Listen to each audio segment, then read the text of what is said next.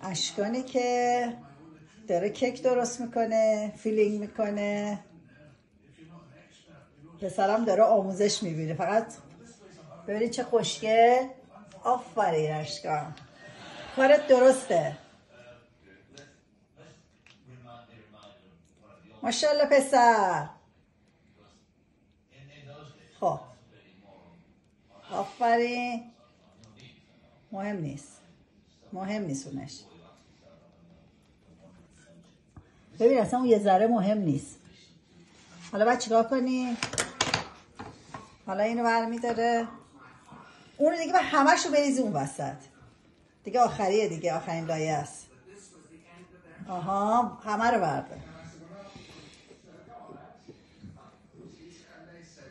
او قوم بسن من کیک ساز کیک ساز کی بودی؟ حالا اشکال نداره اینش دیگه بمونه چون تو شام هم نیست. خیلی. حالا بیا. حالا بذار اینا که پاماشو برداری بیا. برو. فقط. وخ جون وخ جون.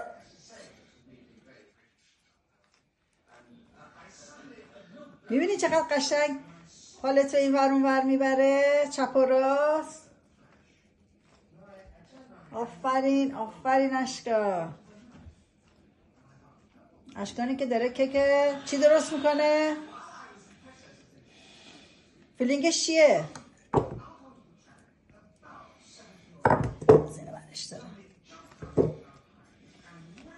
فیلینگش چیه مامی؟ خامه بود با چی؟ تو خامش چی ریختی؟ یادت نیست؟ تو خامش ریختیم یا حواست به کارته؟ آه حواست به کارته ببخشید.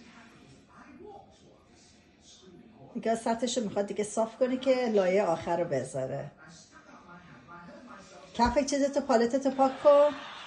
با اینجا. حالا برو دوباره صافش کن خوبه خوبه برو. گفتم بعد چیکار کنی؟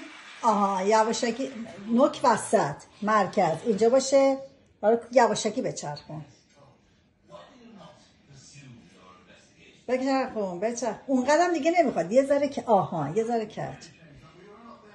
خوبه. ببین الان خیلی دیواری گرفتی. احتیاج نیست. اینو اینطوری یه ذره اینطوری. برو. برو.